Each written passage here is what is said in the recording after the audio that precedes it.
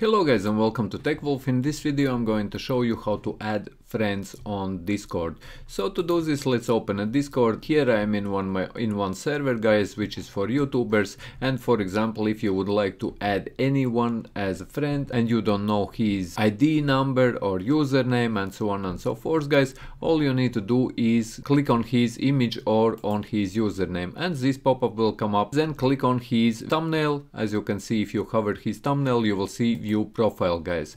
And this pop-up will come up and here you will see send friend request and if you click there you will send request to this user guys. This is one way how you can do it but another way how you can do it is click here on friends top left corner.